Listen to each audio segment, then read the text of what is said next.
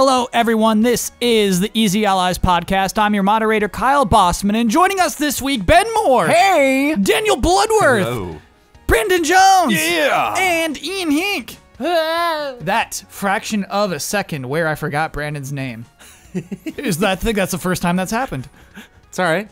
That guy. I made eye contact. It's like, oh, that's Brandon. You. Yeah, yeah, yeah. That happens to me a lot. Yes, Yeah. it happens All the time. And it doesn't mean you don't care about the person. Like my parents forget my name all the time. Right. That never happens to me. Hmm.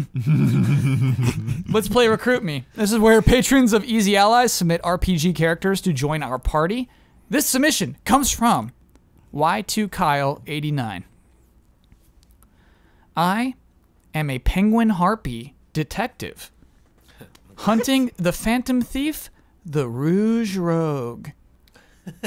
and by the way, I had to look it up. Like, Phantom Yeah. Thief doesn't necessarily mean I'm from Persona 5. Right, right. I was like, is this a Persona thing? I was like, no, Phantom Thief is gentleman thief, basically. That's what that means. Got a it. A little hostile. Yeah, I was at first A hostile. little, little hostile there.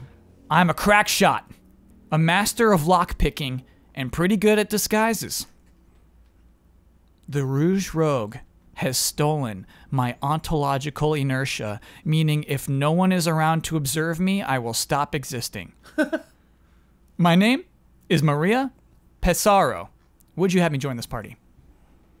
This is the one that I like because it's it's a win-win. So like we win if they're in the party, and then if just just so happens that none of us look at this person and they go away, then I've know, decided, no John, no that's not fair anymore. So one rule I'm adding is that like we have to pay them experience even if they die. And so every time we add a new member to our party, Uh-huh. we're sharing our experience points with them. But also like if they die, those experiment experience points go to their family or something. oh okay. Because I'm I'm sick of you being like if they die, they die. We're fine. I'm just I'm just. I mean, I said that, and then these people continue to write Yeah. entries. Yes. So it's not my fault that they're giving me an out. New know, rule. by- all right, all right. You're losing experience points for every new recruit. I enjoy requiring you to think up new rules, Kyle. So I was thinking about this one in bed last night. I was thinking about this ontological inertia. And obviously, I refuse to believe that this person hasn't had somebody like never falls asleep and like just like they would just die, right? So here's the thing. Uh, if there's another person in the same room sleeping who could subconsciously hear their own breathing, you're fine. Oh. You're not going to disappear. Like you don't need somebody watching you sleep at all times. Like you won't disappear. Uh, if you go to the bathroom, you can just have a conversation with the person with the door closed. uh, you will continue to exist. Like the person doesn't need to be sitting in the room watching you. So it's like there's there are rules just like it a can work out. Sorry? Can you get a cat or a dog? No. Why not? Like the cat could stop looking at it. It most likely will. Yes. and then and then you would lose that ontological. They had me at Rouge Rogue. I was sold on that. because we have a new enemy. We have a new side quest. Yeah. Well, and that's just a killer name. Mm-hmm. Really good. Okay. Ben, how do you feel about Bound this? to be. I misspelled. love this. Oh, person. okay. I think they have a sense of humor, and I think they'd be willing to joke about themselves. I don't detect a sense of humor from Maria. Kyle, you asked me how I felt. Yeah. this is how I feel, Kyle. this is a penguin harpy. yeah. Did you know the funniest animals are penguins? That's a fact. Mm, they're very funny. They're very funny. Ian, how do you feel about Maria? Oh, I'm all in, baby. Wow, I think we're all in on Maria. Blood, you're in too? Yeah. Blood answered that like what? Yeah. Uh, Maria Passaro, we will find out if you survived at the end of this podcast. Uh, put people on watch. sorry? We got plenty of party members. We can put people on watch. Yeah, Yeah, like like hey, I just need you- like I just need you to go like get something from the woods. Like somebody has buddy system at all times. Yeah. Steve, just hang out. Yeah. Uh, please begin corrections music. Steam already reports sales data to NPD. Uh, what what Steam allowed is that individual publishers can now be public about how they're selling on NPDs. Ah. I made a misstatement last week. Uh, Quake Champions is alive. It's uh, un- the new Unreal Tournament I got confused with. That is very dead. Oh, okay. It's funny. You can buy it on the Epic Store, even though they're not working on it anymore. They're like, "We'll still let you buy it, brah." Well, isn't it free to play? Whatever. You can download it off the Epic Store. What? Corrections on the correction. Rocksteady, Rocksteady did say that the Arkham Knight was not Jason Todd, so they're they've known to be a little dishonest ahead. Okay. You know, because they, so they could st- it could still be Superman, Jones. Right. Jones. There's still people who haven't played Arkham Knight yet. Says me. No, no, no. the guy no, no, who's no, no, no. usually I don't care. that. Like that Okay. is such a bad spoiler. Like if All you if you did a bad job with your spoiler, I'm not saying it's a good one. Yeah. But yes. Arkham Knight is Jason Todd. oh, jeez. It's him.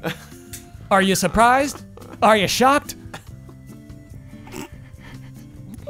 Easy Allies podcast, the spiteful podcast. Yeah. Wow. Um, apparently, turning your age age to 99 in Dead or Alive actually did not make the breast physics more active. Oh, okay. This was just a misconception me and my friends had. and I, th- I wonder if it- Why? I wonder because maybe I was trying to think of why. You just outed yourself, you perv. Yeah, and so Uh, Why? uh, what's it called? Le- Leisure Suit Larry? Right, there was a thing where if you put your age in, you got more access to dirtier things. was there a period of your life where like this was a that test that you had for games? It was a test. So that's how they did it. You would enter in your age, and then it would give you trivia that someone of your age would know. And me and my friend always failed. Because it'd be like, I don't know, like, who was the president in this year? We're like, ah, Reagan? Like, nope, sorry, kids. Like, oh. so, anyway, putting your age to 99 does not affect breast physics. Uh, a lot of people love Donkey Kong 64. They were not hearing all of the, the trash that we were giving it. Didn't even know it existed. You did not know Until Donkey well Kong after that gen, yeah. Oh, okay, gotcha, Oh, okay. Wow. I haven't played Donkey Kong 64 since it came out, but uh, also not a fan. Yeah, same, same. I, I missed it. but our community loves it. So, I straight missed it. uh, Jones, if I said Malakili, would you know who I'm talking about? Malakili. Mm-hmm. No. That is the Rancor ter- caretaker. Oh, nice. Yeah. Oh, cool. Whoa. Yeah. Wow. Do you know Jeff? End correction music, please. Uh, we have an update, a really fun update, before we get into the news this week, uh, because we talked a lot about the Epic Games Store last week. And here, as of our recording of the podcast last week, we had that Game Informer interview with Tim Sweeney. Here was the scoop on exclusive games on the Epic Games Store. The question asked was what sort of exclusive games are going to come to this platform? Is exclusivity something you are thinking about? Tim replied, Epic's own games are exclusive to the Epic's ga- Epic Game Store on PC and Mac and will sometimes fund developers to release games exclusively through the store. That's all we knew as of Tuesday of last week. Since then, we have a lot of Epic Game Store exclusives. Here we go. Ashen PC, right? They they you cannot get that on Steam anymore. If you're looking forward to Xbox Play Anywhere, sorry buds, you can't do that anymore. It's not on Steam. Yeah, Uh, something weird happened with that game, man, because Microsoft were the ones showing that off. I E3. know. It debuted in their own press conference. Yeah. Like, I was in the Microsoft booth to, to play that game. And I, I don't. It's still on Xbox. It's still on Xbox. but it's not. It's not getting the normal like Xbox like treatment. You know, like the under their umbrella kind of thing. Yeah, it's funny. Uh, someone in the comments was like, Kyle knew that whole time. I saw Ashen on the rundown. I thought it was going to be, you know, another Xbox thing who was like showing it. Did not know that was going to be an Epic Games thing. Uh, Hades? Hades is Supergiant's new Right. game. Uh, that is exclusive to the platform for a year. Uh, Rebel Galaxy Outlaw exclusive for a year. Early access, though, right? Yes. For Hades. You know what? Hades, Right. they said at least a year. They said early access. It's Cool. going to be at least a year that they're exclusive. and that's for. a first for Supergiant to do something early access. Yes. Absolutely. Yeah. Cool. Um, because it's like a roguelike, because it's Mm-hmm. it's not as as defined as like a uh, what's Lady Sword called? Transistor. Transistor. Thank you. Uh, you threw me for a loop with Lady Sword there. It's actually Boy Sword and Lady Wielder. Lady Wielder, yeah. and he's just ta- always talking to her. Come yeah, on, Sword. I don't like him. Uh, Genesis Alpha One is a good game. exclusive. Journey PC exclusive. Hello Neighbor Hide and Seek. You got that exclusive. Super Meat Boy Forever exclusive for a year. So these are timed exclusives. All of them that we know about. A know lot about. of them are recognizable too. Yeah. yeah, man. Super Meat Boy Forever being a timed exclusive is Crazy. crazy to me. Yeah, and That so is crazy to me. And and it, it is weird, you know. There was there were other complaints about the Epic Games Store, like no cloud saves. It's like they will add cloud saves, count on it. Yeah, But GOG didn't have cloud saves at first. yeah, they will come. But like these are exclusives for a year that were not apparent when they announced the store. Like, mm-hmm. and so there were games that some of it, in some cases, were removed from Steam to be put onto this store. Power grab. Yeah, I saw a developer straight up say like, ah, I wish I could remember right now who it was, but they were like, "We're taking it off of Steam to hopefully, like, make Steam follow this revenue share deal. I think it was Team Meat. I think they said we want to we want to send a message to yeah, Steam. they were like sending a message. I- yeah. I don't blame them. I really don't. You don't what? I don't blame them. Oh, okay, got you. Yeah, Yeah. yeah. Cool that they're in a position to do that. Yeah. Yeah. Uh, yeah. So yeah, we got a lot of flack for that. You know, a lot of people disappointed uh, that games that had already been announced are suddenly removed from Steam. Um, and yeah, that's nuts. They they did spend a lot of money to get their own little exclusive bunch as they launched their store. Crazy.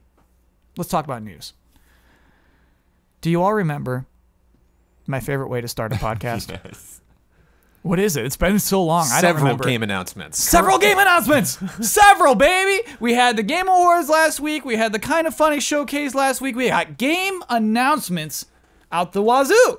Uh, here's the thing. Normally, if we had a list of game announcements, we'd play like uh, uh, uh, rank the significance. We're not playing that this week because there's just too much. And like, there's some things that I want to give more time than other things. And so we're basically we're gonna cover the big ones, the big game announcements that happened last week. You're ranking the significance. I am. I'm, I'm taking the reins of the significance, and then we're gonna go through some others. Like if you want to talk about them, we will. Stop me and say, Kyle, I, we got to talk about this. I'm really excited about this game. Otherwise, we have to move on just to make this podcast happen.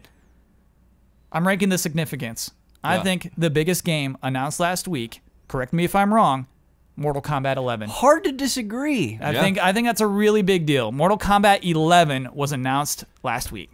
Historically announced. How's that historical? I've never seen an award show where an award was halted to announce a game and then went back to the award. What happened? Uh, Ed Boon came out and was about to give best, best sports. Mm-hmm. I'm in the audience of the Game Awards, and right as the the thought goes through my brain, why is Ed Boon giving out the award for sports? Yeah.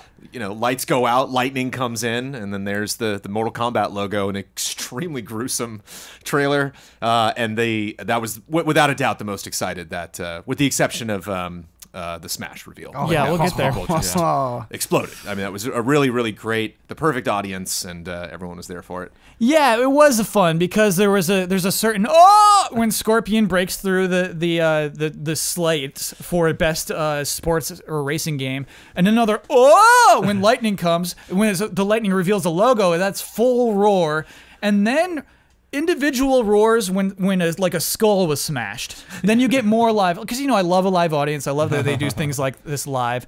Uh, when you when you know Raiden is revealed, you get oh, and then finally when you see the classic Scorpion skin, it's another ah. and so it was just kind of that. It was a good trailer because it consistently had oh moments. Yeah.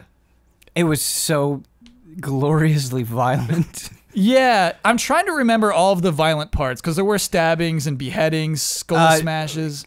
Just scorching the body and like seeing the spine really stuck out to me. Yeah. He kicks the head back, and then like the blade goes through the head, and blood just goes flying out of the back of the head. That's like the one I keep seeing the GIF on Twitter over and over and over. Yeah.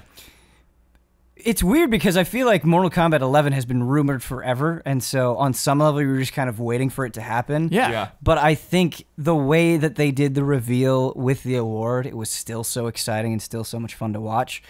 Um, yeah, and just like the arc of Mortal Kombat since 9, where it, it's kind of in a position for me personally, and I think for a lot of people, just because it's been so successful, where it's like, oh, yeah, I'll play that. I'm looking forward to that. Um, not as much curiosity and what comes along with curiosity, doubt, as I maybe would have had, you know, years ago for a new Mortal Kombat. Yeah, exactly. It's it's kind of I don't know. I think in the PS2 era, and maybe Yeah. because like it kind of lost something, oh, Yeah. right? Like it got like in a weird way dorky. I think it really lost its edge, and for somehow that game had edge.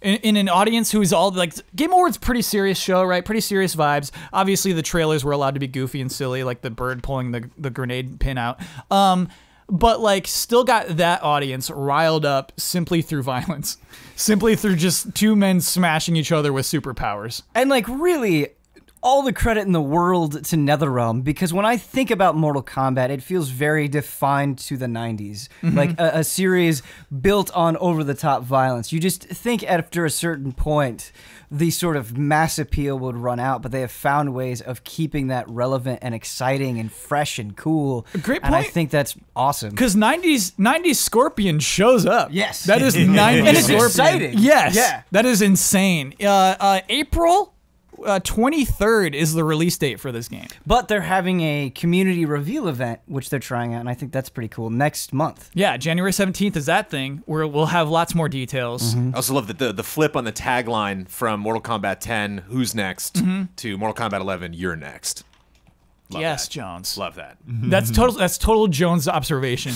yeah, yeah, that is a good tagline. Uh, the logo's sick. I mean, they make the, the eleven into like parts of the M and the K. It just looks nice. It's a nice, clean logo. Gotta say. And hats off to Ed when it went back to him. It was like, oh, that was weird. Anyway, the award for best sports game, just you know, acting chops from Ed Boon. Yes, and Love no it. winks ahead of time. No Yeah. winks afterward. Yeah, he's, he's good. I wish more game announcements would do that, Yeah. where they would have a an exciting CG trailer and then be like, "Hey, listen, this is when you're gonna go to all the details." And Yes. it feels like the perfect amount of time in between those two things. And Yeah. so, I don't know, it just seems good all around to me. Yeah, if you wanted more of those details, well, what we know so far, uh, platforms, it is coming to Switch. Oh right. Yeah. Yeah. Right, I did hear that. Yeah, I'm very surprised by that. It was announced for the Ninten- Nintendo Switch. Neat.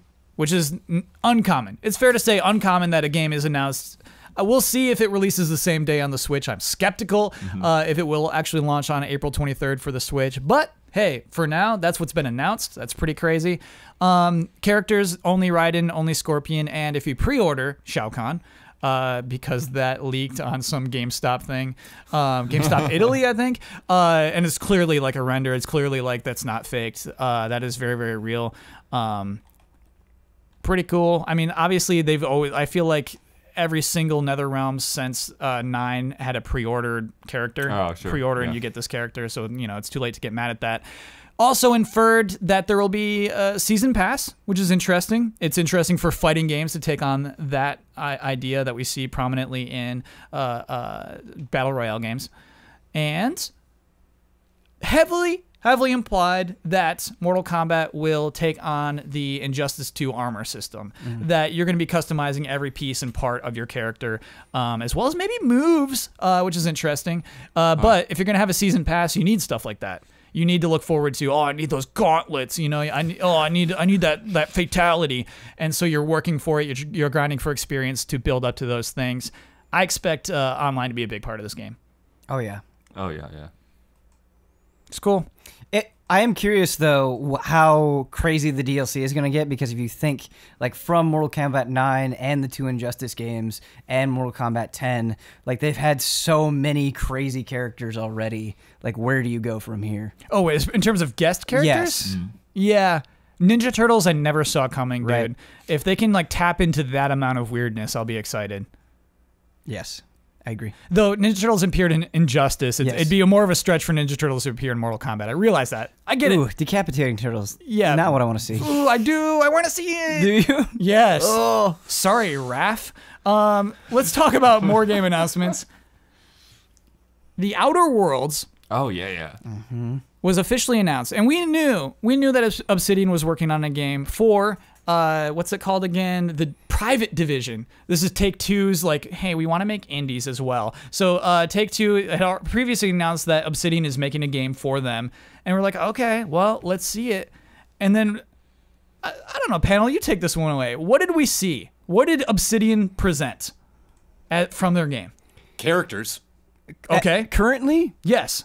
Uh, a salve for a deep burning wound. Yeah, let's start with this because I think this is obvious. I think we need to talk about this. What i- what what style game is this? This, this, as they made very clear in the trailer, this is your Fallout fix. Yep. Yes. Uh, it's don't know first how else to say it. First person game. Uh, From the developer of Fallout New Vegas, said very Yes. prominently in the Yeah. trailer. uh, and I watched it Original creators again. of yeah. They saved that till like you're three quarters through the trailer.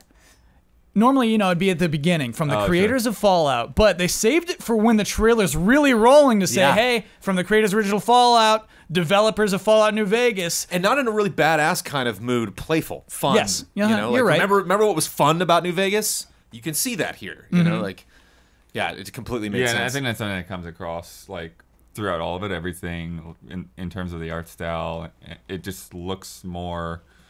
Um, I don't know, like more organic in a way, more polished, almost not quite cartoony, but it doesn't look like it's trying to go for like gritty realism. It's it's like it's having fun with its art style. Yeah, I think that's fair because Jones said characters first. You know, like they, I say this a lot. They had good faces, whereas Fallout games traditionally have bad faces, and so it, it was something they they really just cut to face, face, face, face. They were just showing off characters in a, in a, in a section. And right, Blood's right that it is like a cartoonish style, but I think it was the right way to go.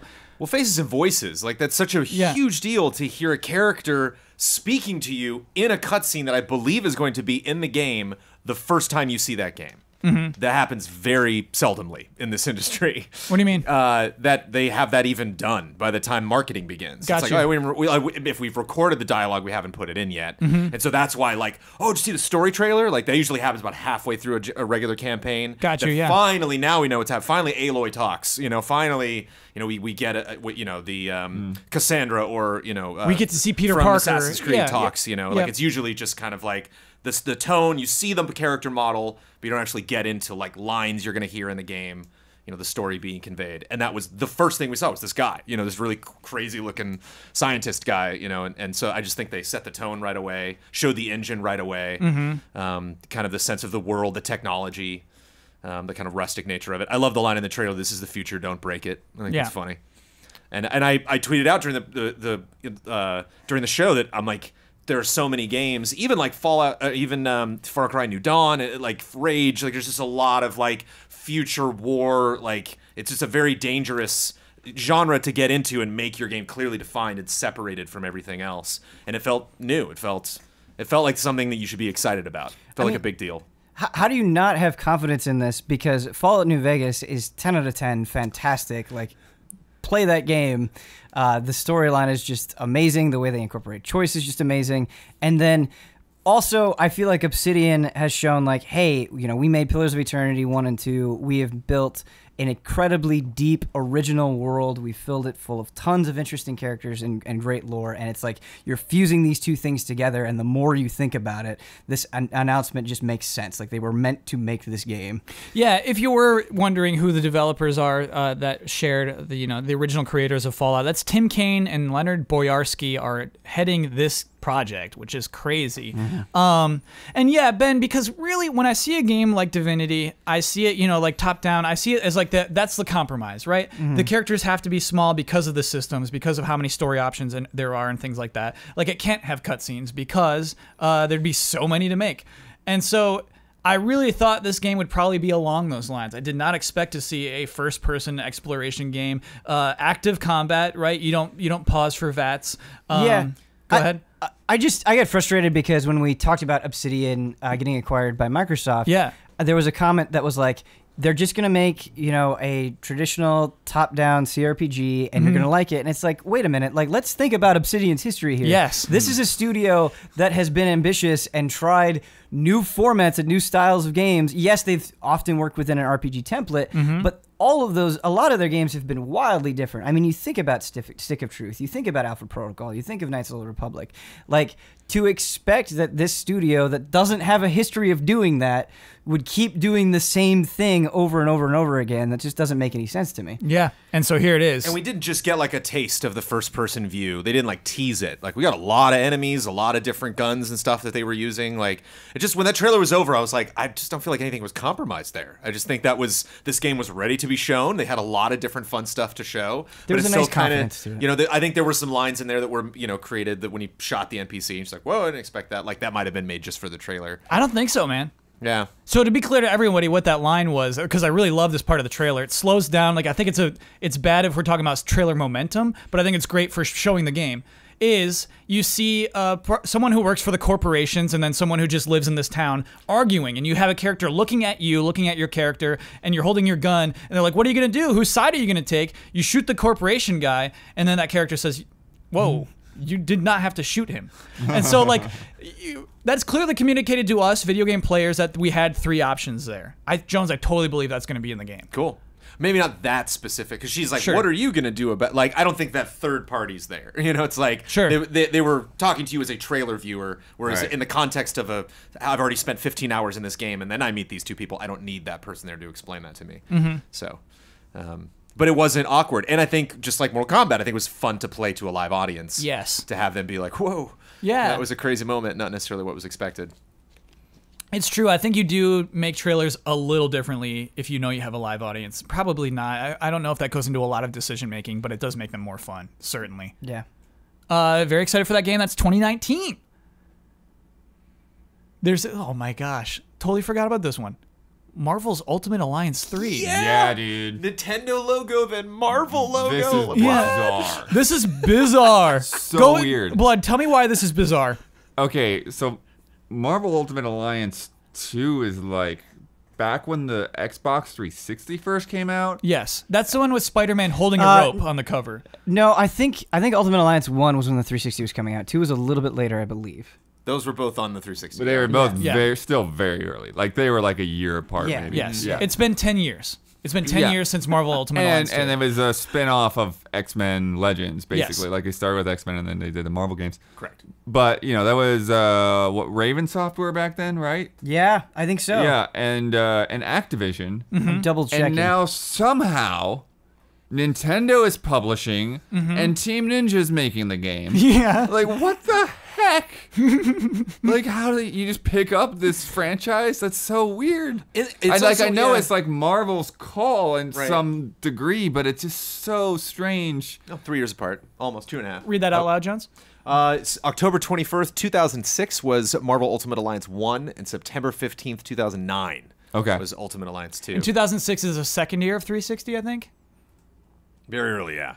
I think it's the first year. I think 2006 be is the first, first yeah. year of X, the Xbox 360. Yeah, Yeah, blood, yeah. you're right. and, That's and also, early, we're in a yeah. post Marvel Heroes world, so we did get a game that was kind of Ultimate Alliance ish. Yeah. that was free to play, Uh-huh. and that seemed like. To, to me, when I got Marvel Heroes, it was like, okay, this is the best we're gonna get. Like, I Right. Mm-hmm. would love an Ultimate Alliance 3 Yeah, I love that they focused on the Guardians. Like, there's a lot of characters I'm sure people love to play as now.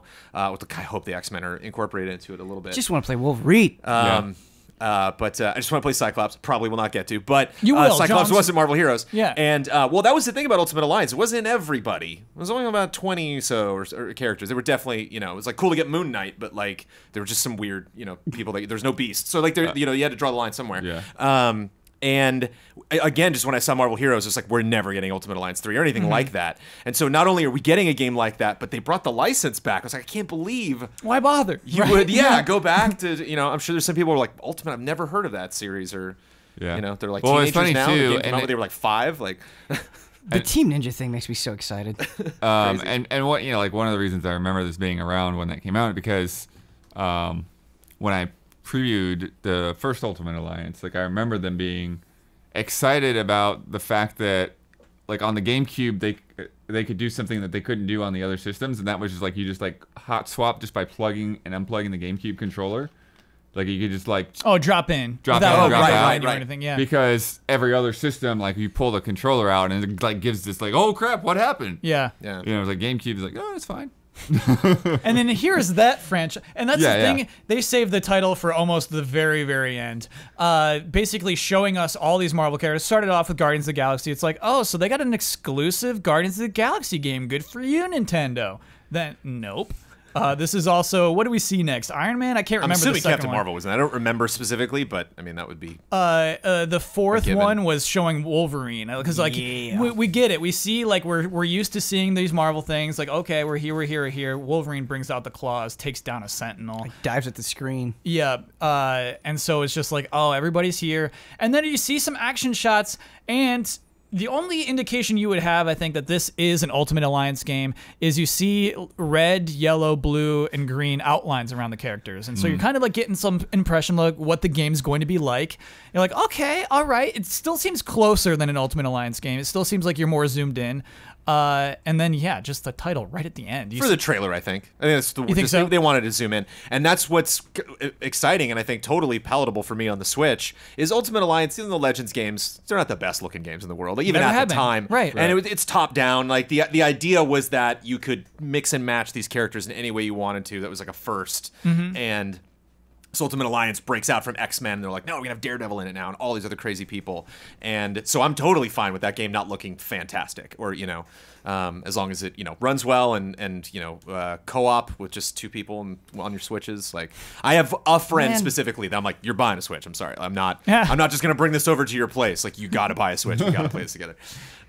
Jones, it, it totally makes sense to me too, dude. And so when you say like Nintendo, why for the Switch? Why'd you do Ultimate Alliance? Because I think you're right. I think the console itself lends itself well Yeah. to this kind of game.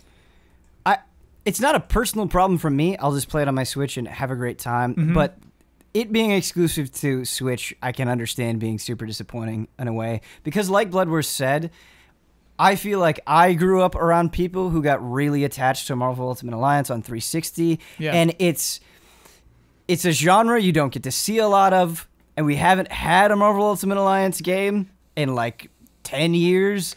And so if you're looking forward to that and you don't have a Switch, I can imagine that being disappointing in like a pretty reasonable way. Like it seems like something that should be out on everything. So Sure. that, it was weird. Activision republished it for Xbox One and PS4 Yeah. not too long ago. Right. I wonder Oh, if that right. was I wonder if that was played it, them yeah. losing the Marvel license or they were like let's just get these out quickly, right? I'm not I'm not sure what happened there, but to those people, Ben, uh, I don't see this as an Epic Game Studio thing where they're just like, "Here's money, make us exclusive." I see this as a game that was never going to happen Oh, yeah. unless Right. Nintendo stepped in. Yeah. So it disappointing, but don't be disappointed in Nintendo. Right, It right, sounds right. like this wouldn't have happened at all. You Yeah. know, if it wasn't for them. I'm just saying that there are sometimes I think where things move to one side or the other, and I'm like, oh no, that makes sense. But I, if you're like, ah, I'm not gonna buy a Switch just for this, and I'm disappointed, I get you. I Yeah. feel like that's a reasonable sentiment to have. Yeah. Also worth noting, Iron Man was 2008, 2007. 2008. Uh, the 10 year is the big thing they're they're they're, they're saying this year. So it's like that was only a year before Ultimate Alliance 2 came out. And so like uh, Marvel's in a different place. It's You know, in such a so many years place, later. dude, yeah. So it'd be really interesting to see how that attitude affects if there's going to if we're going to get like if these aren't the movie versions but maybe like a line or two will joke Mm-hmm. You know that um, kind of like this this uh, Marvel Spider-Man kind of jokes about the movies a little bit. A little the- bit, the- the yeah. game. I don't even want to ruin those because those are just such They're great great. jokes. Uh, I will say, uh, we saw the Switch logo, we saw the Marvel logo, and for maybe a full second, my mind was racing, and then what I saw was a little dis- like a little disappointing from what I was expecting to see after that. Yeah. Do you know what I mean? Sure. Uh, we I, we saw the Guardians first. I think we saw like Rocket, and he like looks good. It's like okay, so they're making a. They're making a Guardians game, okay. Like you, I kind of was expecting something on the level of Spider-Man. This is clearly not that. Right. But as as we kind of said, it's the right thing for the platform. Was the last time Team Ninja worked on a thing for Nintendo? Was it Metroid uh, Other M? That is what comes to mind. Yeah. I cannot say for certain whether or not that's true, but that's what comes to mind. Yeah, uh, I don't. I don't think that's necessarily the case. Um, I don't know how much involvement they've had in like Hyrule Warriors and stuff from with Koei Tecmo. Right, right, right. But that's Omega Force. Right. TeamNinja.com is just ninja merchandise. hey, buy some stuff, Ian. I want a sword. No, no, I Um, mean like Ninja the streamer. Oh, Oh, that's funny. His website is teamninja.com. does he have kunai? No, Oh, I'm out. I'm hey, out. kid, buy some kunai. Yeah, but I feel like they've they've probably done some kind of supporting work on on something that is lo- Sure, more yeah, low yeah. key. Yeah, yeah. they were- worked on Infinity. Really? Fire Team Emblem, Ninja did? Fire Emblem Warriors, Cool. So they did contribute to that. I- That's yeah, funny. so I yeah. was thinking that they might have jumped in there, and and that's too. Hyrule Well, I, Warriors. Yeah. I, I think that uh, you know some of that kind of stuff might cross into this. Like it kind of feels, you know, a little bit tied to that in a way. It's like, well, you guys take franchises and, and have characters beat beat things up, right? You know, it's like that's kind of what Marvel Ultimate Alliance is. Yeah, you know, it is. This is so strange though because it's such a, a, a, non-Japanese centric uh, franchise. You know, because we we learned the story about how Spider-Man came to be, right? Marvel approached Sony and said, "Hey, take anything." Sony approached Insomniac, and Insomniac said, "Can we have Spider-Man?" And everybody said yes. Did Nin- did Marvel approach Nintendo and Nintendo said, "Give us Ultimate Alliance"? And did they go to Team Ninja and said, "Team Ninja, what do you want to make?" And they said, "We want to make Ultimate Alliance. We're passionate about this." I don't know. Like that doesn't seem like that was the path to me. Right. Yeah, this is I gonna wonder be a if really the- interesting story. I wonder if the path was the other way around, where they were looking for somebody to make Ultimate Alliance, Mm. and they the, the negotiations just kept happening until it landed on this thing. Yeah. and that's what worked out.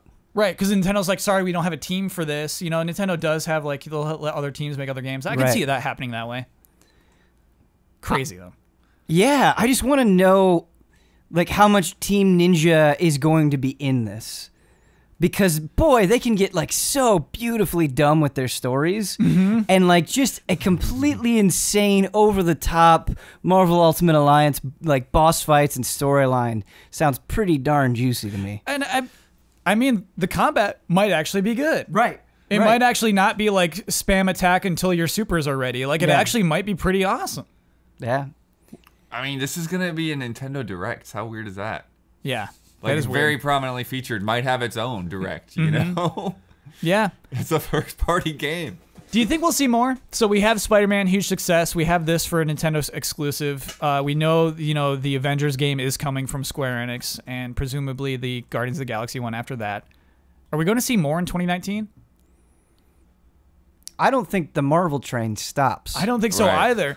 And I think it's going to keep coming out of weird spots, dude. Yeah. I think it's just going to be like, what you I too? mean, But if yeah, they're gonna that keep Captain coming- Marvel movie is coming, like, is, Yeah. is that gonna have something, something big? It Well, hopefully me- we'll find out about that Avengers game in 2019. Yeah. Yeah. I mean, fingers crossed. Sometime next year we'll So see it. Oh yeah, I mean, Too yeah, Russo stats. brothers booked for the Game Awards, and everybody's like, "Oh, they're gonna show that Avengers Yeah, game," and I'm like, "No, no, no, no, no, no, no." You know, I right. can't say that This obviously, gen but yeah. is wrapping up. Square. yeah. Chop, chop chop. Chop chop. Mm. E3 baby. E3. Count on it. Or maybe it'll be at the PS5 reveal in, in March. That's possible as well. Uh, next up, Far Cry New Dawn. Oh, this is weird. What's we're not, weird we're not about in the part where we can skip to the. Honestly, That's No, not I, this I, this is where to we me, have to talk about New Far Dawn. Cry 5, one of the best-selling games of this year. Right. Far Cry 5 is no joke. Now spoiled for everyone who I don't the Game know how to- Awards. yes. It's great that I never have to play that game. No, you I don't, know yeah. how it ends now. You're, you're good. I don't know how to feel about Far Cry New Dawn. Okay, so what is it? It is a Far Cry game set in a post-apocalyptic world with it just it just seems like all attitude with nothing where I'm like excited about that attitude. I'm not saying I have a problem with its attitude or that its attitude is bad, but it just seems like it keeps shoving this attitude and there's like nothing underneath it to get me excited. Like is this just going to be another Far Cry game with villains that get in your face, but a storyline that doesn't resonate, and like chaos that's like fun for a week and then you drop off of? Like, what's what is it? It's just it's just a lot of it's just a lot of attitude. I just don't care. Yeah.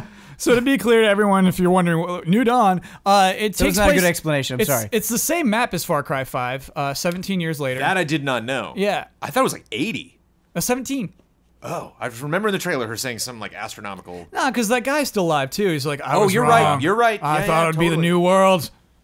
I was right, but I was Man, wrong. I reviewed it. Don't even remember his name. Yeah. Joseph, I think. I that remember sounds good. when Huber saw that person in the trailer Uh-huh. and he had finished the game. Uh, he just like chuckled in like this most dismissive way, just like, and I was like, yeah, that's probably super lame based on what you've seen.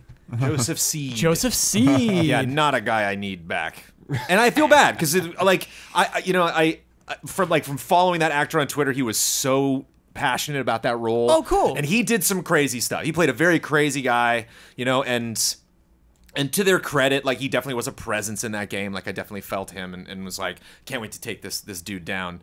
Um, but now, yeah, getting back to this game, like no, no, he comes back. Like what more do I have to learn from this guy? I like. I, I thought Primal immediately when I saw it. It was like, oh, another Primal. Okay, Yeah. it was something Which that was maybe also the same map, They had an idea. Is this enough to be Far Cry Six or no? Okay, we'll just add it on to Far Cry Five because Yeah. it's like in March, right? Or what? When does it come out? Something crazy? Uh, Like Jan- in months. January or It, oh, sorry, I wrote that. February 15th. Yeah, out. Yep. So Man. that's like definitely smells like Primal, you know. Yeah. or- And but the thing about Primal was they had to just completely wipe the slate clean and be like. But it was we- the same we- map too with, with Primal, uh, wasn't was it? it?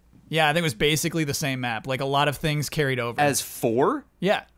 No, That doesn't sound right. It sounds four right. was, four was like in the Himalayas, man. There was Yeah. no, there's no, no. yeah. I would immediately from four into primal. There's nothing about that that I. Re- I mean, I I could be corrected. Yeah, but Ian's and maybe on it's it. a lot different. We'll find out. We'll find out. But uh, yeah, it felt like a, a brand new thing. But right. So when I say same map, like it's obviously don't expect that they just copied and pasted, right? But like, we're gonna, be, be, evolved. it's like, oh, cool, I'm gonna be building bows from the ground up. We're gonna be riding animals. You know, there's all sorts of like crazy new uh, uh, prehistoric, you know, enemies that I'm gonna be fighting. Like, what a neat premise, and and and cool that like no one speaks English in this game. That's cool. The whole game's subtitled. You know, there's just a lot. I was like, this is really neat and a departure for a lot of stuff they're doing with Far Cry. Yeah. This is like what you add some colorful flowers and a couple new thing. It just doesn't seem There's a like racetrack? Whoa, you know, like they had a they had a racetrack in there. they got vehicles in Far Cry Five. It Like, I just don't seem. Uh, it just doesn't seem so far out of left field. I wasn't shocked by this. It was like, oh, okay, and like you were saying, like did not establish really powerful villains.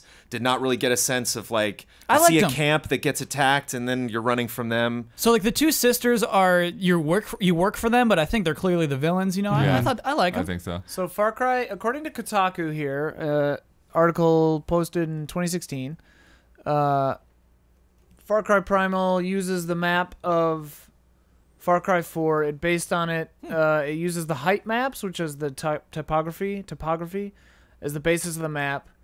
And uh, apparently they did a very similar thing with Blood Dragon and Yeah, Far Blood Cry Dragon, 3, I- yeah. South Island. Blood Dragon is great. So it's like you know, just generally the same mountains and rivers and stuff are in the same places. Right, saving themselves some work, but Yeah. like we don't pick up on it. Whereas in this Yeah. one, it could actually tie into the story. You know, Yes, you're going to meet the it same does. people. Whereas I- in Primal, it's you know. yeah. I probably thousand sound like years I, earlier. I hate Far Cry, and I don't. I, I've I've had some good times with Far Cry, but I feel like if we're comparing it to Far Cry Primal, that is not good to me. I find Far Oh. Cry Primal intensely boring. Oh. I find it to be an intensely boring game. You're hurting Jones right that now.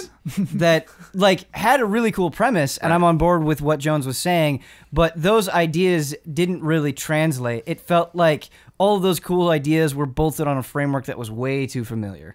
Like, yeah, you're in this different environment. You're in this this this age with spears and stuff. Why does it still feel the same? Like why does it still feel like I'm scouting dudes in a very similar way? Why does it feel like I'm checking things off the map in a very similar way? It just wasn't wasn't as exciting or as different as the premise would indicate that it would be to me. Here's one one wish that I have then. In the trailer, the two sisters' eyes light up green, and I'm like, are we mutants? If we have mutant powers in Far Cry New Dawn, then we're talking.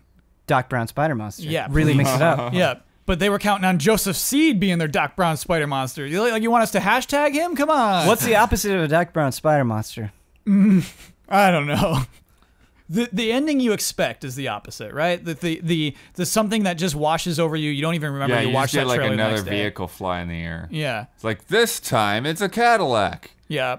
a Cadillac is a, uh, the opposite. Or a train. Uh, real quick, who had the better trailer, Far Cry New Dawn or Rage Two? Rage 2. Really? Oh, that Rage 2 trailer was great. Why? Yeah. It zoomed around the map really quick, which I haven't seen a lot of open world games do, and I thought was Oh, yeah. really clever. And I thought it was clever for Rage because Rage is like, we'll show you the map, we don't care. Like that's not gonna, we're gonna spoil anything. Where Uh, you're like, "Oh, that canyon, I didn't want to see that canyon. You know what? You know? what it was close to is that skiing game from Ubisoft. Right. Steep? Steep, Steep did the kind of same thing in their trailers. but it, I, this has a lot more, you know, Yes, of variety. course. That was Yeah, one of my yeah. issues with Steep was that it's just like, like oh, another snowy mountain, cool. Um, but That's that's funny. I thought the Rage 2 trailer was really forgettable. But they well, I, and I know a lot of people in open world games hate the icons. Yeah. like the people some despise that, and especially from you know you. Uh, well, it's not Ubisoft, but uh, uh, a very Ubisoft way to do open worlds. But I just loved this. Like, let's go through over here, and it wasn't just like a cut to something else. Like it's like no, you're actively the camera is moving, so you can get a sense of like look how different. The place where you're in now is the place where you were in before, Yeah. and look how you know how you traveled to get there. It was a surprisingly coherent trailer. I, I feel like the problem that I have with this Rage 2 trailer and really a lot of Rage 2 at the moment is like its tone is is very loud and crazy and fun and that's exactly what Rage 2 is going for. But I feel like I have kind of felt the same watching every Rage 2 trailer and so it's not that what they're doing is bad or that they're doing it poorly but that like hearing it in the same way for so long I'm just kind of tuning it out at this point. point and I'm Yeah. interested in Rage 2 I can't wait to play Rage 2 but at this point it's like oh yeah that they're doing it again. Ian, can you remember a single moment from the trailer right now? Search your mind. Uh, I remember it zooming. I remember words coming up at the new locations. I remember there being like some scaffolding with a man standing to its right. Hey. I remember You sneak was up on the- that guy, you I ride up the elevator. A barrier that the enemies put I remember and the you take elevator. the wing stick and it goes around the barrier and decapitates all the guys, or just hits all the guys. That wing stick's so good. Yeah. Hey, y'all hear that? Oh. oh. it sounds like it's podcast halftime. The following are the official sponsors of Easy Allies for the month of December. Elfanis. Mango. Connor's Cure. Connor's Cure was created in honor of eight-year-old WWE fan Connor McCallick, who battled melo, uh, medulloblastoma, a rare tumor that affects the brain and spinal cord. Connor's Cure is a foundation to support pediatric brain and spinal cord cancer research. Connor's Cure has helped raise nearly $2.5 million and assisted more than 400 families around the world. The link to donate is in the description. Easy A weekly clips. Do you miss the weekly Twitch clip compilations? Boy, do I have good news for you. They're back in a totally unofficial but still pretty cool capacity. Check out what Cell Splitter calls very good. Just look for Easy A weekly clips on YouTube. iKeyless. iKeyless.com is proud to sponsor Easy Allies. If you need a replacement car key or remote, use offer code EZA at checkout for free shipping and 30% off of your order. Hoeg Law, business law firm. Whether you're starting a business at level one, stuck fighting the dreaded fundraising boss, or finally cashing out with a well earned high score, you need a good business lawyer at your side. And now, that Good Business Lawyers YouTube channel has spawned a new series. Like Help Us Out Hoeg before it, Virtual Legality is all about Hoeg discussing the law, games, software, and everything digital. Neither Ian Hinck nor Kyle Bossman has commented on it yet, but when they do, we'll make sure to take their comments out of context and place them right here. Hmm. Check out the first three episodes of Virtual Legality at youtube.com slash H-O-E-G law. Sweet Justice, a sound design company from the southern shores of the UK. They've worked on some of the biggest AAA titles, the most refreshing indie titles, and collaborated with the best development teams in the world. And our mega sponsor, Jigarbov Productions. Are you looking for something cool for you and your kid, but do they or you still can't get enough of that there Minecraft game? Press the store button in Minecraft iOS, Android, Switch, Xbox One, or Windows 10. Do a search for Jigarbov Productions and get some of the highest quality, downloadable content available, including minigames, adventures, survival challenges, and more. You can even buy Minecoin cards in stores and use them as the perfect present for your non denominational gift giving seasons. Just make sure whoever you gift them to knows that you want them to only buy Jigarbov things, not the other stuff. All of these links are available in the description. Thank you to our sponsors. Thank you, sponsors. Our pace is not great. Uh, if you ever do like running in high school and just like like coaches like yelling at you and it's just like, oh, I'm going to lose this race.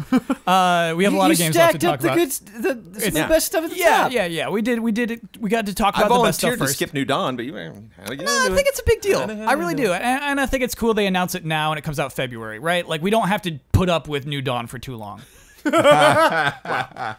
It's true. They had True, too many true. previews for Far Cry 5. Yeah, and so like, I actually think like that's a really smart idea, and obviously I love that Mortal Kombat's coming out in April, and they waited till now to reveal it. Thank you, thank you, love that kind of thing.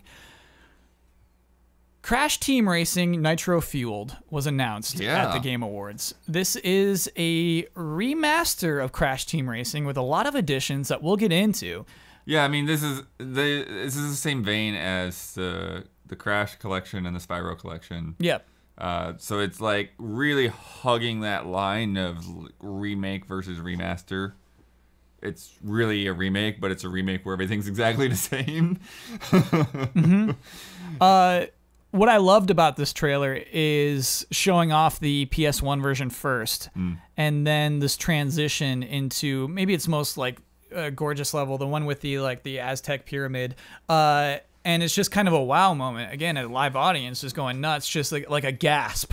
Because it was pretty clear from the moment Crash Bandicoot was there at the Game Awards, it's like, okay, they're about to do Crash Team Racing. Even like Activision ahead of time is just like something interesting is sliding into the Game Awards. Like, okay, we know what it is. Stop this. Uh, I think you can be cute with this. yeah, and yeah, Yeah. you're right. It is the kind Especially of game that you after cute with. Crash already. Yeah. Yeah.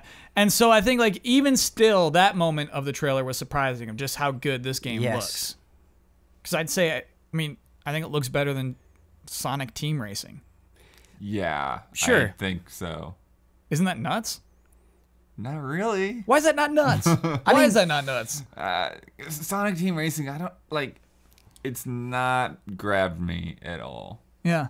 Like I've it- enjoyed Sonic Team I mean, Racing. I've enjoyed it all I right. know why we're throwing Sonic Team not- Racing under the bus. I have to make a comparison always. Wait, Sonic Sonic Team and All Stars Racing Transformed? No. Transformed is great. Transformed is incredible. Yeah. Ian, there's a new game coming out next year called Oh, Sonic Team Oh, I Racing. thought we were talking about Transform. Yeah, No. yeah. Oh, Transformed Transformed is like is All right, God all right. tier. Yeah. All right, I'm balance talking- restored. I'm talking about the game where you have to it's like Yeah. a teamwork racing game. Yeah, Right. whatever. Yeah. That game's not even out.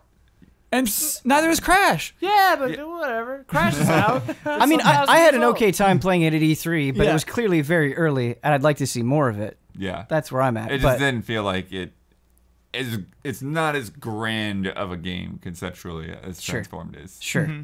Like Transformed had crazy stuff flying over, like the afterburner, you know, uh, aircraft carriers and stuff, and these just feel like very kind of safe track environments. Uh, one of the things I love about Crash Team Racing, if you're not familiar, uh, and you might not know Diddy Kong Racing either, but there's a story mode. There's there's like an overworld, and there are Yeah. challenges and boss fights. I didn't know that. That's cool. Oh yeah, it's actually a really cool game to progress through, single player wise. Um, I'm really looking forward to that. But the thing that we must discuss is the online mode. It's like okay, sure, put it online, but when they showed the online mode, they showed the biggest difference between this game and the Crash Team Racing PS1 game: multiple carts. And this is where I think Activision comes in. This is where I think that there will be an online progression that you have to work for new carts. Uh, that, that they might not even necessarily be in the story mode. They waited till they were talking about online to show off the new carts. And I think this is, might be where Activision becomes interested. Uh, I wonder if this game will be the same forty dollars that the Crash Collection was, and so that's hard to rationalize at the same time. It's just like, oh, this is one racing game, but I think it'll be something more. I think it'll be something bigger than Crash Team Racing. uh, are, are you alluding it to, hey, you can pay for this stuff in Crash Team Racing? Yeah, I, like a, maybe like a battle pass thing for a racing game, right? Yeah, I, I think that is a lose lose situation. Why? because it, it would be one thing if you're like, hey, we're making a new Crash Team Racing game, mm-hmm. but Crash Team Racing, I think a, a, a small but vocal audience has wanted for a very long time. They're finally getting it. They're finally bringing it back. We've already been treated to well-received remasters of Crash and Spyro. Yeah. And if you go and you change that or or you pollute it, I guess, with that Activision way, I think people are going to be upset. I think if you if you're somebody that's been waiting for so long and this game is near and dear to your childhood, you're gonna feel like they're messing it up. They're inserting all this stuff. They're polluting your memories. You don't want it, and I imagine people will be very vocal about it. But all that's extra. You got the game you played ages ago, and then this online mode you couldn't even imagined back then. I mean, it depends on how they do it, right? It Yeah. depends on how it, Yeah. how it feels. Like, yeah, it can be extra, but if it's extra and it feels bad, I think people are still gonna be upset. I still think they're gonna feel like they're something was tainted. Sure. I um Yeah, man, I don't know. Like I uh I do wonder if it'll have a life. I wonder if it'll have a life beyond release, if it has even 6 months of planning behind it. Does it need to have a life beyond release though? Because I feel like like Crash did so well. And then Spyro too. Right. Yeah. And it's like I, I, I think really that's what you need. You just kind of need that like, oh yes, we want this so bad. We play it, we love it, and then we're done. And I think that's okay, right? I don't believe in Activision that way. Yeah. I believe in them like Yeah. looking at investments. I believe in them like just priming us, laying down the butter.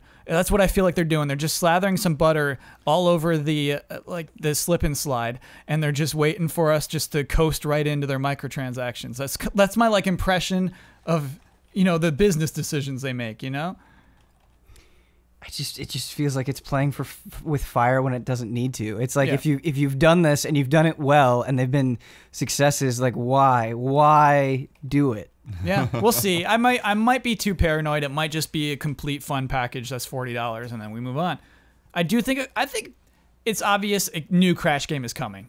Yeah. Maybe Oh, even yeah. in 2020. Yeah. Right, I'm, I'm like- with you I- 100. I, I think they're leading up to somehow. Yeah. I don't think you would do Crash Team Racing if you weren't also doing a new Crash game. I Yeah. think that I think Crash Team Racing, as as good as that game is, as much as it loved, it's it's to keep the Crash Mm-hmm. train rolling. And it's rolling, baby. It is. It's rolling. Uh, Which is crazy. Yeah, great. That is crazy. Uh, well, you know what's? I don't know. We did the NPD lifetime NPDs for PlayStation, and it it made it. It was crazy to me, like how many balls were dropped. Oh yeah, that's what I mean though. Yeah. Like Crash is a ball that shouldn't have been dropped, Right. but it was dropped so long ago and then they just left it on the ground. Yeah. It's it, like it was just one of the best selling games on the PlayStation platform, and then just just let that bowling ball clunk. Yep. Uh, I want to talk about. This is not a game announcement. This is a character announcement for Super Smash Bros. Ultimate that I think had the biggest buzz of the Game Awards event. Yeah. I Yeah. think this was, uh, if you look at like Twitter, social media, I think this was the thing most people talked about. My heart. Yeah, and I don't understand how could, how could a character announcement be a bigger deal than a new game announcement? How could it possibly be? Because it's about the surprise, Kyle. Let's get into this. Okay, about so uh, surprise. put me in the zone. Put me in what I should, how I should have perceived this event. So a lot was happening. We got Mm-hmm. Reggie on stage. He's like, "Hey, all your dreams will come true." Yeah. And uh, then we see Atlus appear on the screen. We see Persona Five. Minds start to ignite, thinking, "Okay, they're bringing Persona Five to Switch," which might still happen. Mm-hmm. Yeah. But then you see that envelope. And you see the smash seal, and that's just a good moment. That's a moment where you just go, you just go, oh, because they they built up to it perfectly. Yeah. it was just presented so well. It was a lot of dialogue before Yeah. you see that envelope. Custom Yeah. dialogue, baby, Yeah. talking about the Game Awards. Yes. In character. Yeah. Like, oh, You're going to the big show? Yeah, I don't remember a single line, but it was kind I of can't like believe, you know, he's like, we did it, we're in. She's like, I can't believe you, you hacked into the Game Awards. We're like, we're stealing something from the Game Yeah. Awards. Well, and that's the thing too. It started off with that with that hack, and we're like, "This cyberpunk? What is this thing?" You know, because it was very much like the. the Oh E3 right, it was hack, Keighley you know? talking mid sentence. The Yeah. light, the lights went black, and he's like, "Oh, what is this?" Yeah, Yeah. Um. So is this? It was just not something that you could have expected, really. No. You know, like we had we had talked about why doesn't Persona Five come to the Switch, Mm-hmm. but never in any conversation where we were talking about Persona should be in Smash Brothers. It just wasn't in any of those conversations that we've had. All of the speculation about who should be in that game, mm-hmm. Persona wasn't in there. but it fits. Joker Yeah. from Persona Five just fits so well. Yes. we can envision how fun it's going to be to play that character. Mm-hmm. Probably his persona coming out for final smashes and stuff. Uh, it's just it's the vibe of the trailer was so strong. yes. it surprised me because maybe two or three podcasts ago we talked about the DLC and we talked about how Sakurai had said Nintendo gave me a list. I had to pick from Nintendo's choices for DLC. Nintendo picked that? Nintendo picked Persona 5? Like I'm surprised. And really, like, hats off to Nintendo and Atlus because if Persona 5 is coming out on the Switch eventually, it mo- is, right? Right. Like, let's lock that in. right. the more the more that I think about it, this is the absolute perfect way to do it Yeah. because you have a bunch of people who have already played and many of them loved Persona 5, and so you get the Smash character announcement, and so a lot of people who haven't played it see that excitement, mm-hmm. and then they play Joker and Smash, and they get attached to that character, and I just think about like. The reason I played Fire Emblem on the GBA is because I liked Marth and Roy and Smash. It's kind of like that sensation, Yeah. but amped up way more Yeah. Uh, which is really really cool. And so it like Smash or not Smash Persona Five on Switch. If that happens, I feel like it kind of feels like a bigger deal than it already would be Yes. because of this. And Yeah. I think that's genius.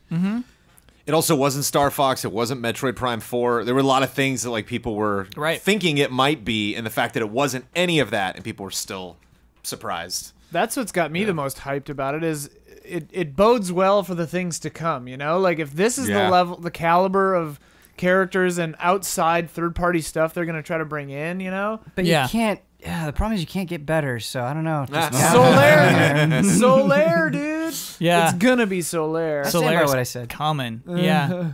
And I feel like I feel like one of them is from like some game that hasn't even been announced yet. oh baby. You know what I mean? Like I, I just like Whoa, Kyle, what? Where are you going with this, my mind's racing, Ben. dude? My mind is racing, but with with possibilities when it wasn't before. Can you imagine like like you just see this amazing trailer for a brand new Nintendo IP, and it mm-hmm. ends with, "And you're gonna play him in Smash." Yes. Like, holy cow! Yeah, man. that would be awesome. Spider Man's gonna be in there. Wolverine's gonna be in there. I'll take him. I'll the take him. T Rex from Jurassic Park is gonna be in there. They put Ridley in. Yeah. Ridley's not too big. I can see T Rex working out. Velociraptor maybe. Man, that's a hey, that's a good Smash character. Yeah, so uh, yeah, I just think that was cool. It was it was a surprisingly well received announcement. Persona Five is not the most popular franchise in the world, but, But I do think it it speaks to Persona's rise. yes, Yeah. right, Ben, that that crowd would screech the loudest for that announcement. Yeah. is nuts. That was a big old crowd that was sold out on that on that level. Like that's that's crazy. Um, we have more announcements though. Oh, hey, let's talk a little bit about the kind of funny showcase uh, because that was just over an hour long. Showed a ton of games.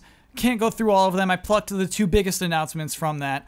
Uh, first being uh, Judge Eyes Judgment. Yeah. has become Judgment. Yes. Uh, Judge Eyes is a game we talked about uh, from uh, the Yakuza team. Uh, Sega was putting that out in December. I guess it's coming out still this year uh, in Japan. Uh, has a, a U.S. release date uh, uh, window of summer 2019. Well, and then of course the most bizarre thing watching that in the showcase was everyone was speaking in English. Yes. Yes. English voice acting. Right. Which they haven't done since Yakuza 1 Yes, that is right. on the PS2. So it's crazy that, yes, this will, they're going all out on Judgment. Yeah. Yes. Which like what what what a timeline we're in. We were at a point where we like begging and pleading for new Yakuza games, and they're Mm-hmm. like, "Here's this spin-off, baby, and it's in English." Like that just feels good. Yeah. that just feels good. Hey, cool. Cool. Yes. I don't know how else to sum it up. Cool. uh, eventually, I'd like maybe we'll get to where it is, Ben, where it's like simultaneous worldwide release. Yeah. December to summer is the best yet, though.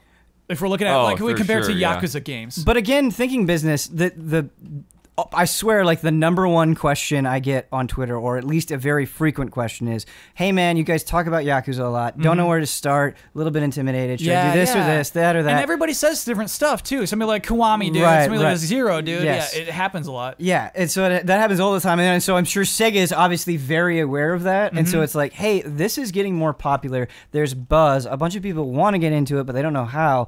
We've got this spin-off where you can just jump in, and here's English voice acting in case that's your deal. Seems smart. Yeah, it seems cool. Uh, uh, Sega, good on you. Um, pumped for that. Uh, the second biggest thing from the the kind of funny showcase, the, what they ended with, their one more thing, was that uh, the Walking. They had a trailer for the Walking Dead final season. Oh yeah. Uh, episode three is coming January fifteenth, two thousand nineteen. Way sooner than I think any of us expected. Yeah. Uh, along And with they that, also mentioned the bizarre detail that like it's 40 people that are still working at the Telltale offices. Bloodworth, well done. I had, Had a picture down, of all of them in the office. but yeah. it was forty precisely. Good job, Blood. Uh, uh, still not bitten, I think, or what was the? What's Yeah, look name? at you two. Yeah, Yeah. Still Not Bitten is the name of their development team. um, I'm like too proud. Uh, yeah. uh, Well, they, they, they, they then uh, there was a line in the trailer later. You hear her say, "She's like, still not bitten." Mm-hmm. Like, yeah. and so uh, that that is continuing. Uh, it is, and they're still working in the offices, right? And it is, I think, more people than I expected to, from the old games. Uh, do you still feel like it's worth celebrating? Is it still like happy news? Yeah. It's like a relief in a way. a yeah, good it- way to it's, phrase it. Yeah, it's not exciting. It's just like, oh, thank goodness! Like they they get to finish it. and It gets to be the same people, not some weird.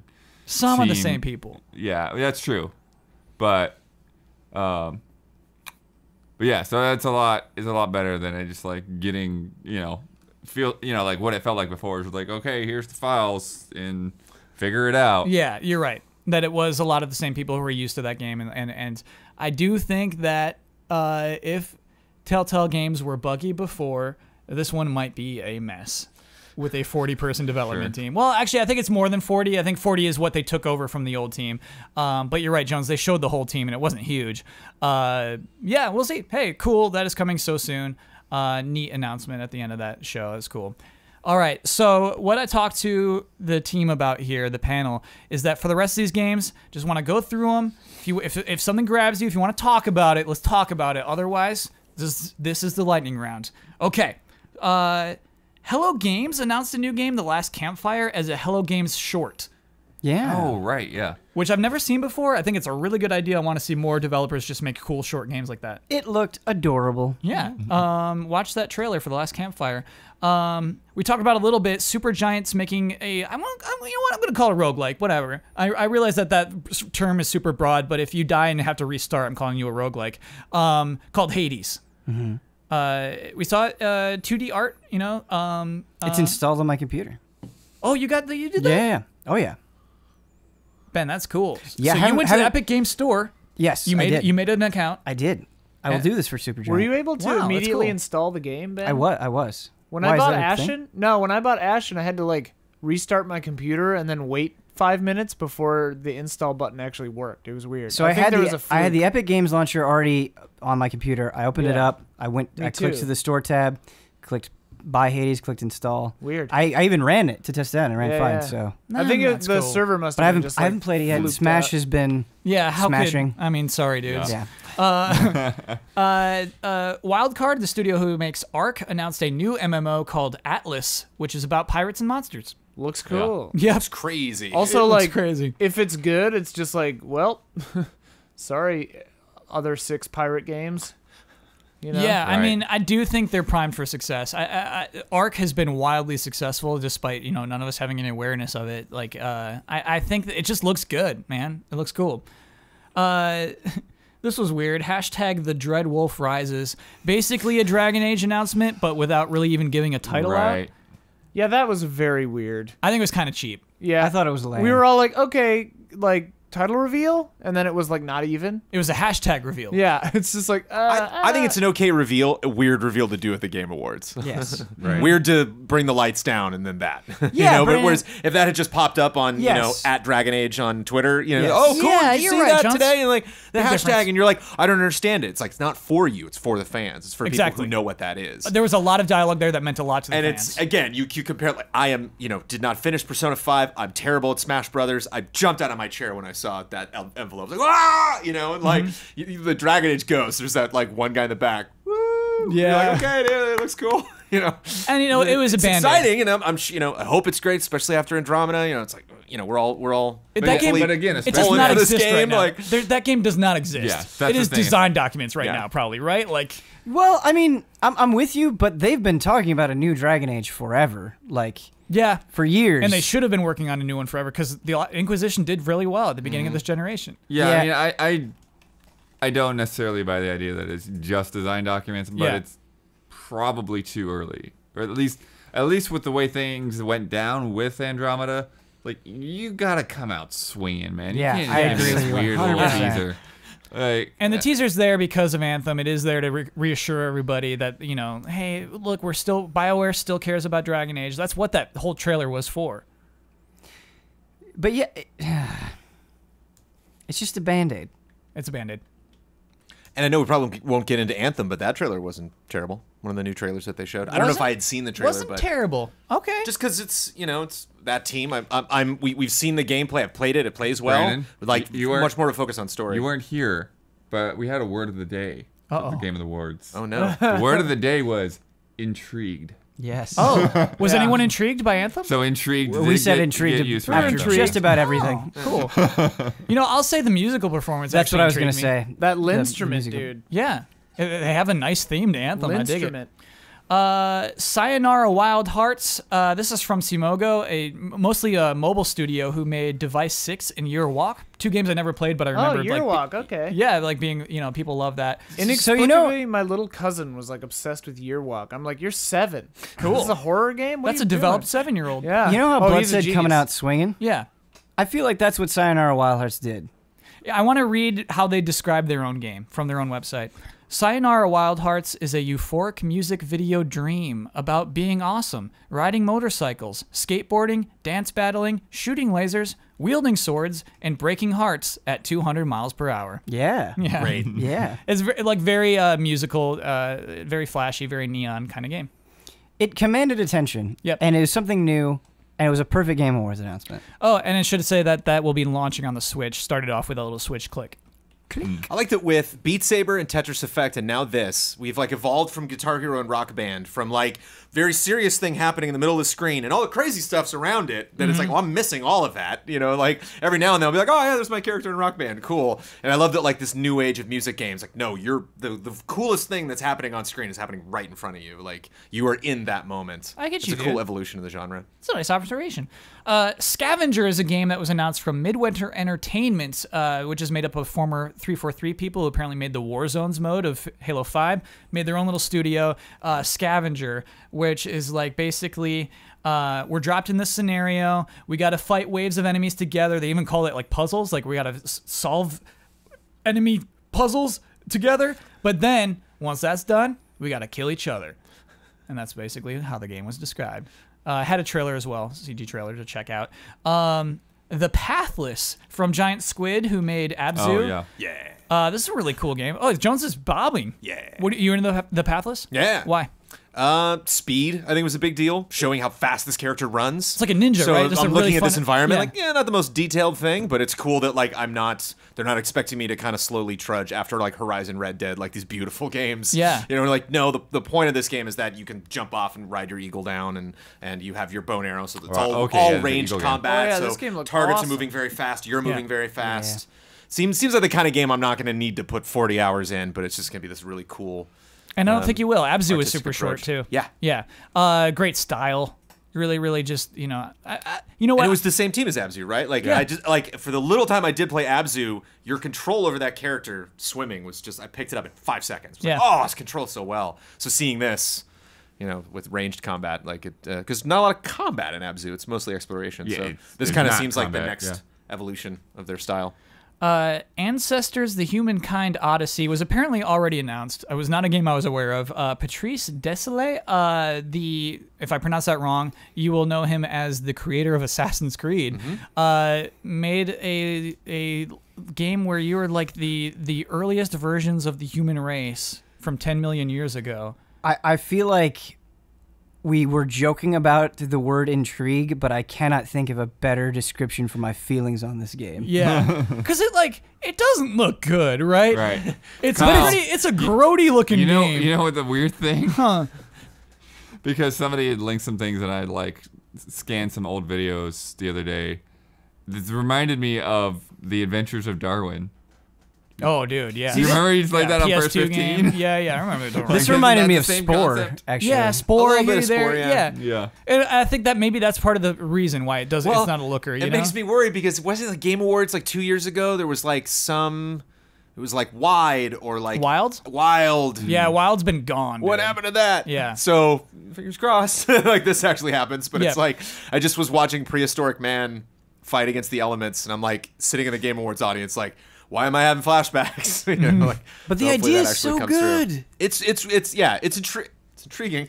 Uh, I don't know if it's something I'll actually play that much because it seems like there's a lot of thought process that goes into. Like I think the the turning point in that trailer for me is when they're like ganging up on a saber toothed tiger. And it's like, wow, I wonder. I hope there wasn't like an hour of just walking around before this happened. And I'm curious, like how much, how much action there is because they really wanted Sure. to focus on like the climbing and the running and the Well, spears. what they focused on was you developing tools. Yeah. The, Yeah. the eras increased, and so you became more like you you you, you can see these. Uh, what do we call them? They're not Neanderthals because that's even later. Like Lucy is like a Neanderthal, right? I don't know. Okay, whatever. Probably like Homo habilis or whatever. I can look it up. Sure. Uh, anyway, like you see them become smarter, and you, the the tools become cooler. Yeah, I, I there's a concept there that it, that is. Hey man, if you pull that off, But I think the the thing I wonder about the most is like what is the gameplay loop of this like? Yeah. Like do you go through like all of these generations in like an afternoon and like all right, well that run sucked like we went extinct and so you know I I have to like like FTL or something where you just like keep doing it again until you get to whatever the ultimate humans are. yeah, Yeah, how does this game work? yeah. It, it ends with Lucy, so you don't you never get to be like a naked man. But yeah, we'll Sure. we'll develop piece by piece.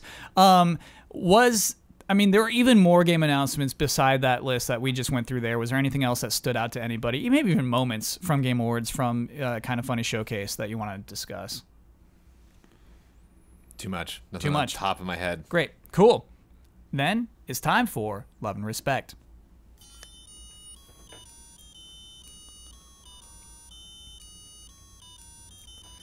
Love and respect. This is hard every week. Uh, we got to do one this week, and uh, this one is just I've never seen anything like this. This is, it positive crazy. or negative? I'll let you decide. Okay. Uh, Uh-oh. Yeah, I'm gonna need that. I'll find out later. I got you. Thank you. Hey, allies. Last week on their blog, Capcom announced that it's going to start rolling out optional in-game advertisements in Street Fighter V, and players who don't opt out will be rewarded with a limited amount of fight money. The ads themselves will all be centered around in-game purchases and promoting the Capcom Pro Tour, if enabled. They will be displayed during loading screens, as backgrounds in tournament stages, and even on the character's clothing, with all of the fighters to receive a new ad style costume. With while advertisements are nothing new in AAA games like Final Fantasy XV's uh, Cup of Noodles quest, for instance, this model is usually reserved for the likes of mobile and or free-to-play games. Do you see this more as a harmless experiment, or would you worry about what sort of future precedent it may set? While the example is both Uh, while the b- example is both optional and limited to Capcom's own products, do you think there is a future where we'll be watching Netflix ads to earn V-Bucks, double XP, or even exclusive skins in games? And if it were to happen, how would you feel about that? Love and respect, beating yes, down Brian. Of course. This is they're not even this is like a test run. It's a test run, man. Th- This they're they're running ads for their own things. They're not they're not making any money off of that. They're just trying to see what people do. Yeah, and you got to see it, dude. It's it, it's just Ryu with logos on his gloves, his his gi. You've got to be kidding me. No. And it's just it's so wrong. It's so nothing It's Ryu would ever wear, for this. right? It's the wrong game. And so uh I do wonder, and but there is an incentive. If you're willing to put up with that, you get more in-game money for the work that you put in. Mm. Isn't that nuts? Here's my counter to that. Okay. Instead of putting up with that BS, I could just play many of the other better fighting games that are currently out right now. Wait, what's better? Let's list them. Tekken 7, Okay. better. Mm-hmm. Dragon Ball FighterZ, mm-hmm. better. Soul Calibur 6, better. To me. Yeah. Like, I already get annoyed watching Street Fighter V and seeing them do the ads over and over and over again for you to get whatever BS special Capcom Cup outfit and stage there is. It reeks of desperation. It reeks of a product. It doesn't reek of the passion or fighters rising up or whatever the hell the tag is. It just sucks. There's other fighting games out. Mortal I don't Kombat have to deal with this. out soon. Yeah. You're next. Uh, f- like, it does bother me that it's uh, opt out as opposed to opt in. You know, maybe just a thing should appear right when you start. Just like, hey, ads will give you money, and you say yes to it. You know, it's like, what a shock that would be to see Ryu wearing logos on his clothes suddenly. It's just, I, I think there is an inherent coolness to Street Fighter and that cast. Yes. When I when I think about video game character designs, to me, like you can't get more iconic than Street Fighter. Some of that art like still makes my soul sing looking at mm-hmm. those pictures and those characters. And like th- the music as well. Like there is there is the this like Street Fighter aesthetic that is like untouchable when it's at its best. And you're telling me you're taking that and you're like oh, we put an ad on his gi. It just mm-hmm. it just throws that in the gutter. Like it Street Fighter 5 at this point like it just doesn't even there's it doesn't feel like there's a soul there. It just feels like it's trying to make money in this like super naked and aggressive way and it's trying out all these different things and like on some level I feel sympathetic. I feel like you need to make a game that is like always on. You need to support the competitive scene, and that's really difficult. I just feel like a lot of the ways that Capcom have, have done it have been like in the most ham fisted, non organic ways, where they're like, they're, they're constantly trying to force things, and people can smell it, and they just, I don't know.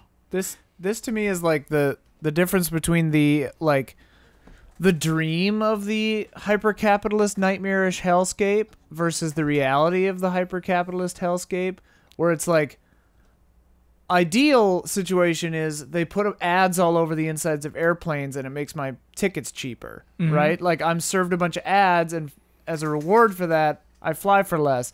But really it's just they put a bunch of ads on and charge you more.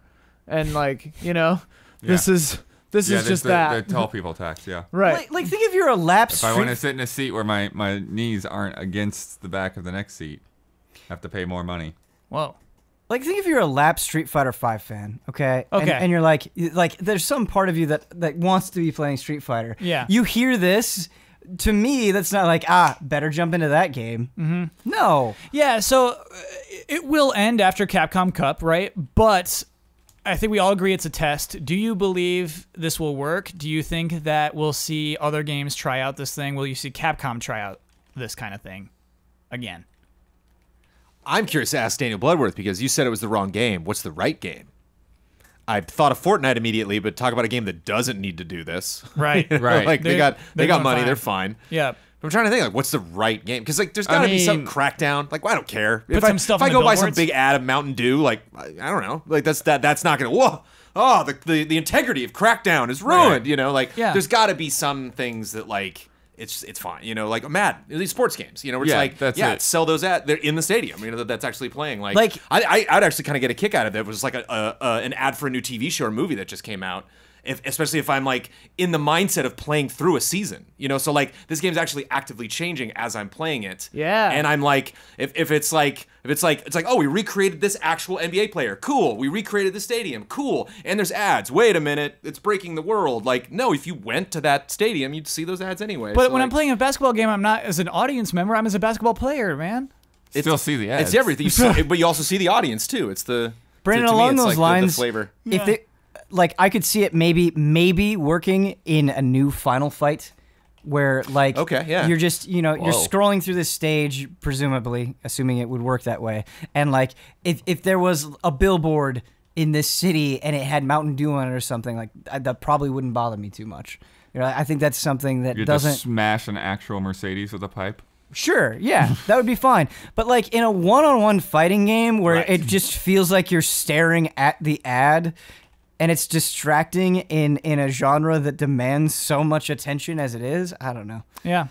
I, I, I- I think it was an experiment that they had to try. I think it'll sour people away.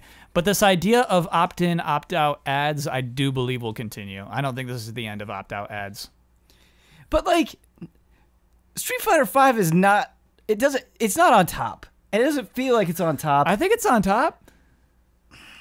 I, do, I just when you when you have something like Street Fighter 5 Yeah. and you're not getting the most number of Evo attendees, like it just doesn't.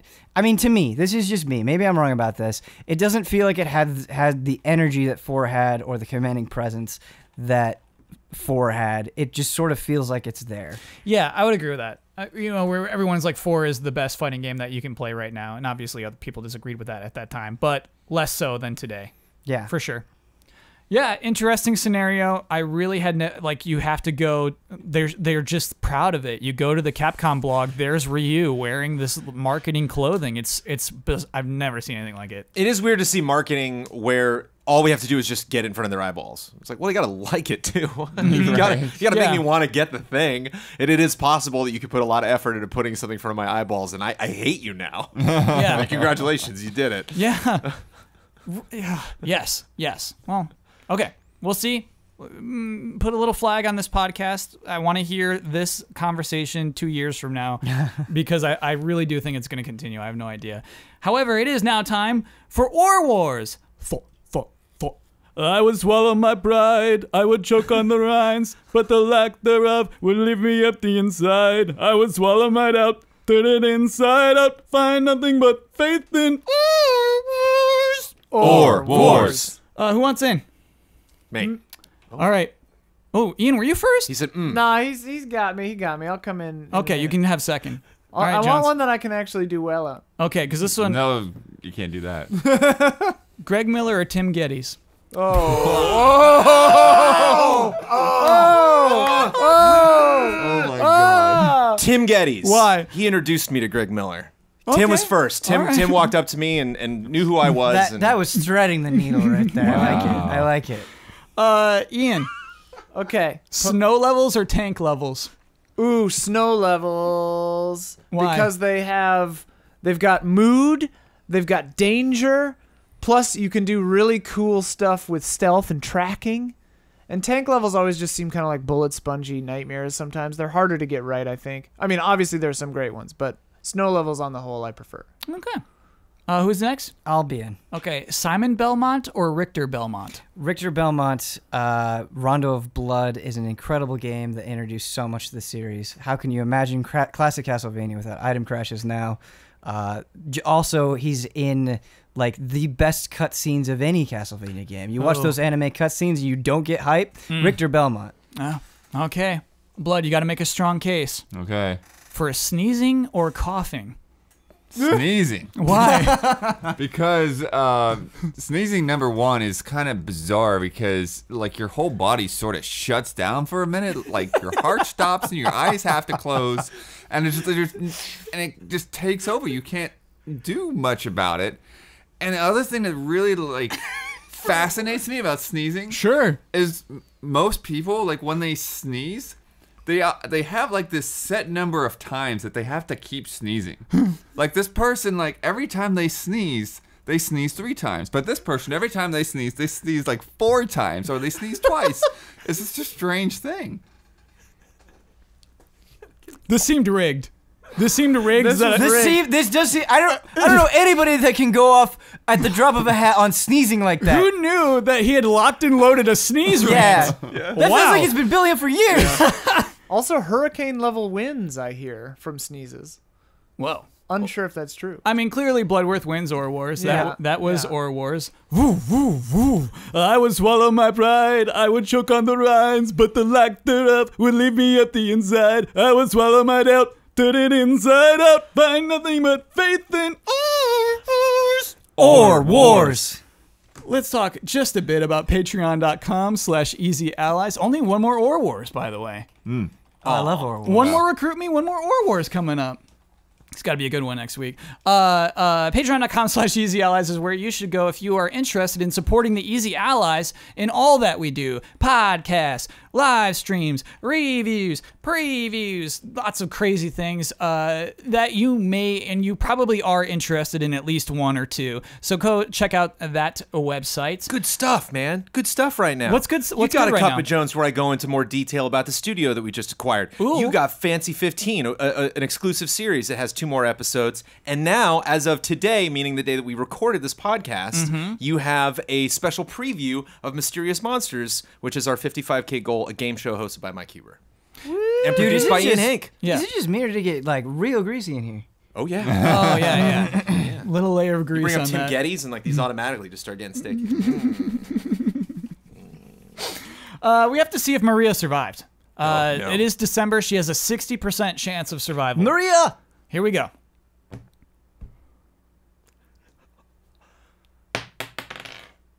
She died. Oh, and you cared. You I did. you cared more about that role than any role I've ever seen you make. We left her. We left her behind. We turned around. She's gone. Yeah, just for a second. that's one I really wanted. To, That that one hurt.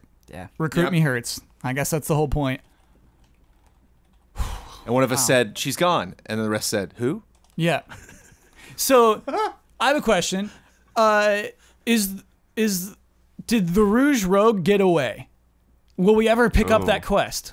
I, Rouge Rogue doesn't have a problem with us. Right. We didn't really adventure at We had all no beef with the them, Rouge so- Rogue. Yeah, Yep. I think we're good. yeah, brutal. yeah. What's it, ontological or ontological inertia? Like that could be stolen from us at any second, but uh, yeah, I guess we're not after the Rouge Rogue. Okay. Sorry to end it on that note. Uh, Daniel Bloodworth, you were the winner of Or Wars. You get the right and response to that that sneeze rant. That was legendary. You get the right and responsibility to share your Twitter handle with the world. You get to promote any Easy Allies video you would like to promote. You get uh, the final word on anything you've disagreed with or want to reiterate, just hopped into your head. And you get to sign off with your trademark sign off. Um, yeah, so my Twitter is uh, at dbloodworth2. Uh, for my final word, uh, I would like to implore everybody uh, to take some time to play Smash Brothers with the items on. Don't be too serious about things. Check some things out. Have some fun with some random things. Let some explosions happen. It's no big deal. um, and then for uh, a video, um, I can't spoil anything. The other thing I, I, I'd say is to, to keep an eye out on Ian's stuff. He's actually got multiple things that are really fun coming up. Uh, so Ooh, thanks, yeah, bud. keep keep an eye out on, on what's rolling out over the break. That was the best final word in the podcast history, GT time or otherwise. Cold blooded. uh, and your trademark sign off. Yes, uh, we'll see you before the next blood moon rises.